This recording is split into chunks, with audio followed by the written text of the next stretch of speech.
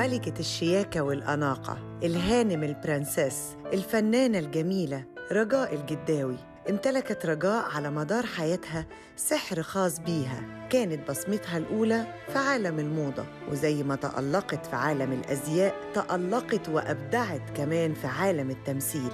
ولأنها شيك في كل حاجة اشتهرت بأدوار المرأة الأرستقراطية عاشت محتفظة بروح الشباب وخفة الدم وصدقناها في كل حالاتها. مش ممكن أبدا ننساها وإحنا في برنامجنا يحكى أن رحنا بيتها الجميل. نحتفل بعيد الأم مع بنتها ونحيي ذكرى هانم الفن المصري البرنسيس رجاء الجداوي.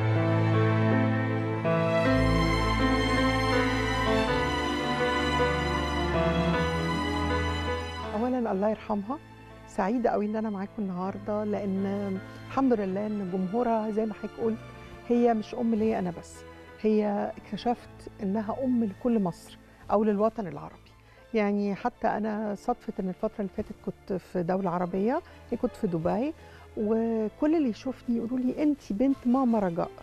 فكلمة ماما رجاء دي كانت بتسعدني قوي لأن متأكدة إن ال- ال- اللي حاسس إنها أمه أكيد بيترحم عليها. واللي باقي سيرتها الحلوة اللي أنا عايشة بيها وإحنا النهارده متجمعين عشانها. فالحمد لله يا رب سعيدة قوي آه، عيد الأم بالنسبة لي معاها كان بيبقى دايما احتفالات.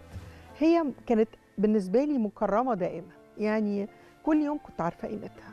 آه، ولكن طبعا عيد الأم زي أي بيت كنا بنحتفل وعادة العيلة كلها بتيجي ما بين كل ولاد خالتي وعماتي ونتجمع كلنا.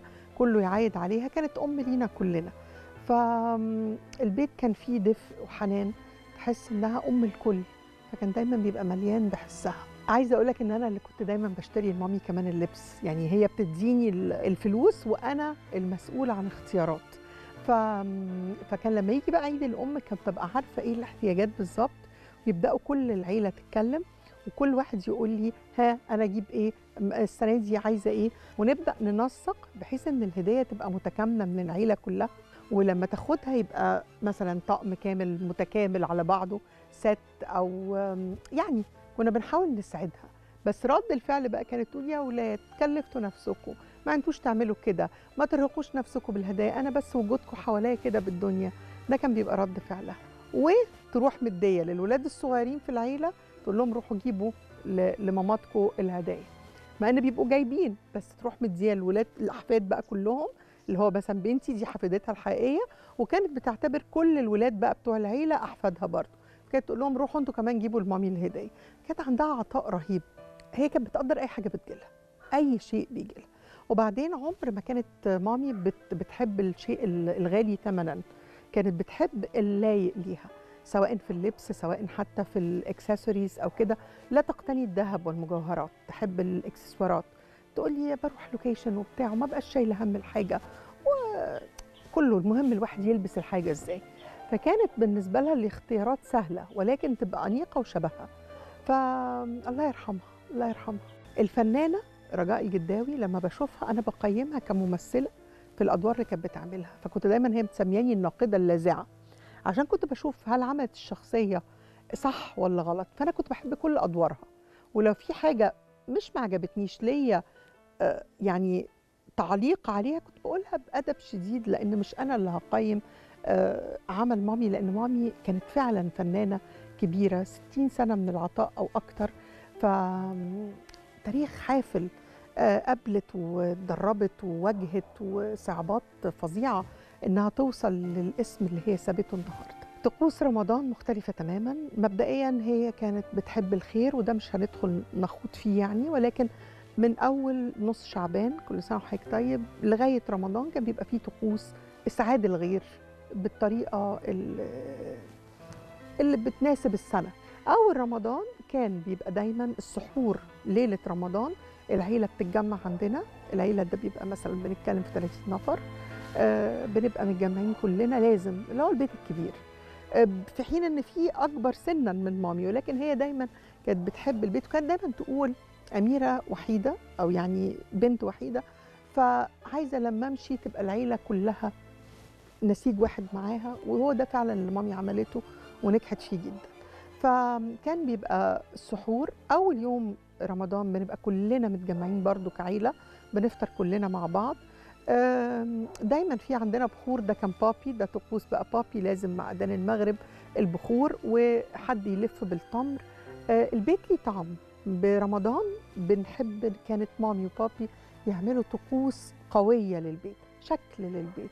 الحمد لله بحاول دلوقتي أطبقها زي ما ما كانوا بالظبط بيعملوها. آه الصلاة كان بيبقى دايما الفجر جماعة والمغرب بيبقى جماعة.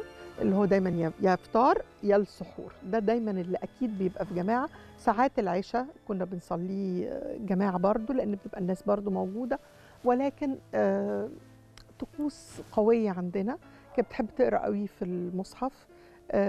يمكن بابي كان بينافسها أكتر. بابي كان ممكن بيختم سبع مرات الله يرحمه وكده فكان بينافسها جدا. فهي لما توصل لمرتين ثلاثة يفضلوا بقى ي...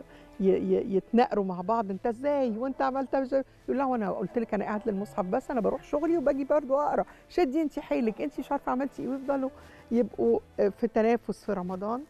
أيام حلوة وذكريات حلوة آم، سابتها لي وسابتها للعيلة كلها. آه، بيتنا كان آه، هي عرفت تعمل بيت متجانس هي وبابي يطلع كل اللي بيدخله يبقى سعيد وشخصيات سوية. كانت بتقدس الصداقة جدا بتحترمها. آه، طبعا في الوسط الفني معروف أعز أصدقائها والله يرحمها طنط دلال وطبعا طنط ميرفت. دول المقربين ولكن في بقى زي طنط نبيلة عبيد حبيبتها بلبلة. آم، في عندك هلا صدقي يعني وطبعا الإعلامية آه، بوسي شلبي. آه، فعندك أسامي كتير آه، من الوسط الفني. كانت دايما برضو تحس إن هي بيجتمعوا في الخير ما بتتأخرش عن فعل الخير. ال- ال- ال- اللي بيربطهم دايما كان إن هم تيجي نروح نزور فلانة عيان يروحوا فلانة متوفى تعالي نروح. يعني ما تتأخرش في الحاجات دي. ممكن الفرح لو معزومة في فرح رجلها تبقى تقيلة شوية مش مش عايزة تروح كده. لكن تقولي الحزن والعيا الإنسان محتاج إن حد يكون جنبه يواسيه وي- ويطبطب عليه يعني. فكانت سباقة دايما في الخير وفي السعي للخير. مش هتلاقي ذكرى ما احناش كلنا فيها. يعني لما نيجي مثلا شم النسيم آه، تلاقينا كلنا مسافرين في بيتنا آه، في فايد ومثلا اتبنى دور إكسترا علشان الكل ده يبقى موجود آه، علشان كلنا نبقى موجودين. ده كان بابي مثلا يقول لك لا كله يبقى مع أميرة. فاتعمل بيت كبير كده علشان البيت يبقى لامم الكل وكأن الكل ولادهم. فكانوا بيتمتعوا بده. الحمد لله الحمد لله. أنا بقى اللي بجني ثمار حبهم للناس وبجني ثمار آه، برهم للعيلة.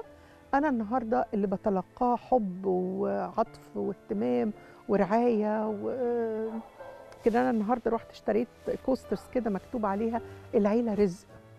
ففعلا العيلة رزق ويمكن أكبر رزق ممكن الإنسان يرزق بيه هو العيلة. الله يرحمها وحشتني. آه، أصعب شيء آه، فقدان ال- الأم أو ال- الأب والأم أي غالي تاني بيروح. آه الله يرحمها هي عايشة معانا بسيرتها بالمجهود وتعبها آه في إنها تبقى توصل رسالة.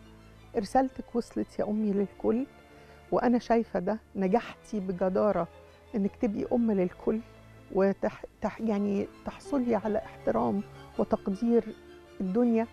الحمد لله عايشة في سيرتك الحلوة وبسيرتك الحلوة فانت على طول معايا.